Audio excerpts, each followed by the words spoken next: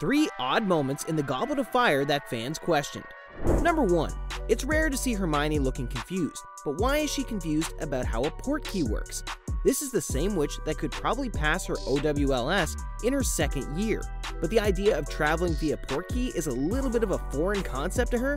That's definitely a little out of character for her. Number 2. What does Cedric Diggory know that Hermione doesn't know? How to land after traveling by portkey.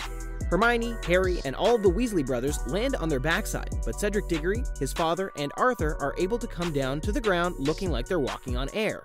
What's the secret? Number 3. Did you see how many witches and wizards were attending the World Cup? Why in the world did a handful of Death Eaters think that it was a good idea to cause all sorts of chaos at this event? Better yet, how did a handful of them get away with it? Where's the security?